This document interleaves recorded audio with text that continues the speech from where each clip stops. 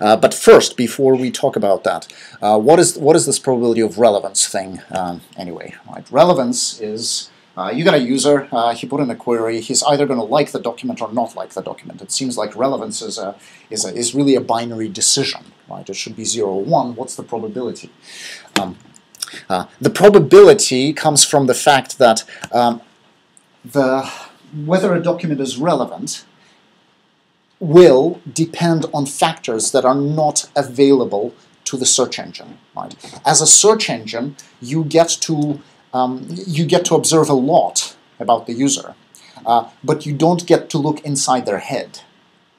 And and and a, and a lot of what makes up relevance is is is the user's state of mind, right? So maybe the document perfectly answers the query, uh, but maybe they've already seen that web page in which case it would be non-relevant in this moment uh, in time.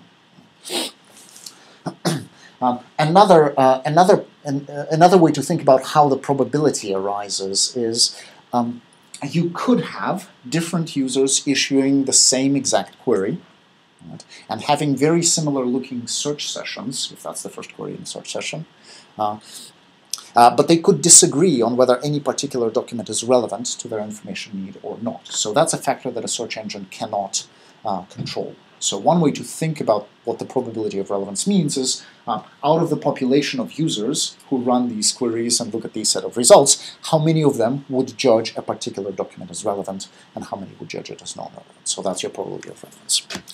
Okay.